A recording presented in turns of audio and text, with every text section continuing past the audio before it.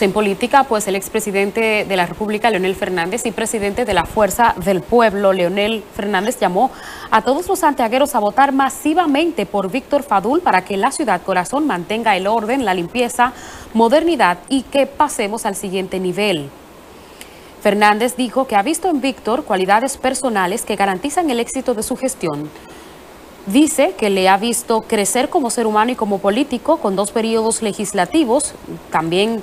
sostiene que su visión y plan de gobernanza municipal garantizan que Santiago continúe por el camino del desarrollo sostenido. Fadul, de su lado, agradeció el respaldo y la confianza del presidente Leonel Fernández y la Fuerza del Pueblo en lo que dice es una obvia demostración de que la familia bochista sabe dejar las diferencias de un lado y unificar criterios por el bien de la nación. En Santiago y todos los candidatos a regidores quienes nos estarán acompañando a partir del 24 de abril para que Santiago siga por los senderos del desarrollo sostenible.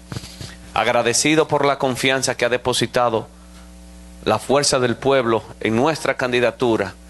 y evidencia que nosotros, la familia bochista, sabemos dejar las diferencias políticas a un lado y unificar criterios para seguir beneficiando no solamente a Santiago, sino también a toda la República Dominicana y lo que sucederá el próximo domingo 18 de febrero en la República Dominicana es la antesala de lo que va a suceder en las elecciones de mayo para devolverle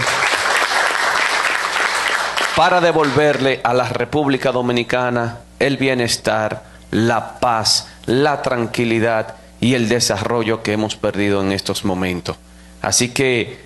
a partir del 24 de abril desde Santiago trabajaremos todos juntos como una misma familia, con un gobierno compartido y también con una gran alianza estratégica con los municipios de Santiago para que el retroceso, el caos y el desorden no vuelvan a nuestro municipio.